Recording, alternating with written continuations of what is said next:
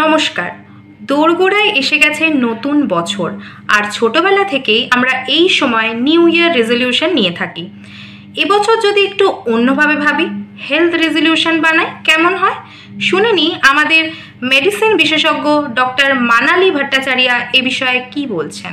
Thank you Debankita health রেজলিউশনের আইডিয়াটা একদমই ইউনিক দু হাজার বাইশে প্রত্যেকের জন্য আমি পাঁচটা হেলথ রেজলিউশনের কথা বলতে চাই। প্রত্যেকে নিজেরা এবং বাড়ির সকল সদস্যদের বছরে একবার অ্যাটলিস্ট একটা কমপ্লিট হেলথ চেক আপ করিয়ে নিন।